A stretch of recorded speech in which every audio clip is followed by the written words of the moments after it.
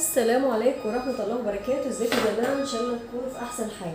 النهاردة عندنا طبق سلطة فظيع وجميل ورهيب كل حاجة حلوة فيه. عندنا طبق سلطة أنا عندي ده آه، سبانخ وجرجير mix بين السبانخ وبين الجرجير. أدي الجرجير وأدي السبانخ بس أنا قلت أحطهم على بعض.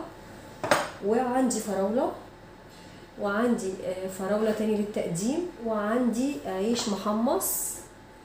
وعندي العيش ده مقطعاه وحطيت عليه شوية زيت وحطيته يتحمص في الفرن. وعندي جبنة براميلي حراقة اللي هي بالفلفل. وعندي في الطبق ده آه، زيت معلقة زيت زيتون على آه، معلقة خل بلسمك على إيه؟ معلقة دبس رمان على سنة فلفل ورشة آه، رشة فلفل ورشة ملح. تمام؟ وعندنا بصلاية حمراء والبصلاية الحمراء دي إحنا مش هنحطها كده إحنا هناخدها في معلقة زيت زيتون نشوحها على النار تدي طعم الشوي وفي نفس الوقت تطلع ريحة البصل اللي حضراتكم عارفينها. طبق السلطة ده بجد فظيع جدا جدا جدا. آه طبعا أنا ضفت له حاجات ضفت له العيش المحمص وضفت له ال- البصل وضفت له ال- الجبنة.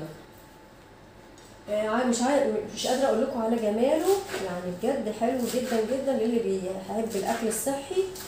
آه، يعني محدش يقول إيه العك ده أو إيه الطعم ده. لا لا هتاكلوه هتجربوه وهتعرفوا إزاي هو في منتهى الجمال. عايزين بقى تجربوه بال عايزين تحطوا آه، سبانخ بس حطوا عايزين تحطوا جرجير بس حطوا براحتكم. تمام؟ أنا بقطع ال- الخضار بتاعي آه، كبير مش صغير. آه، زي ما أنتم حضراتكم شايفين كده مش عارفة باين كده. أهو. تمام.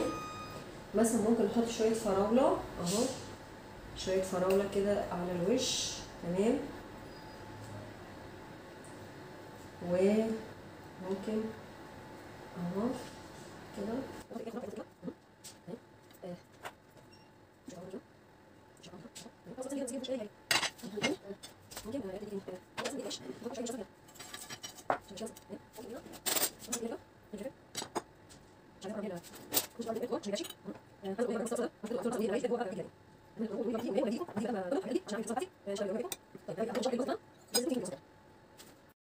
شايفين بقى طبق السلطة بتاعنا اللي في منتهى الجمال ده؟ شايفين؟ آه الجبنة. البصل الأحمر بتاعنا الجميل الفراولة العيش المقرمش آه تخيلوا بقى حاجة حراقة مع حاجة حادقة مع حاجة مسكرة. هيدوكوا طعم إيه؟ بجد طعمه خرافة خرافة خرافة.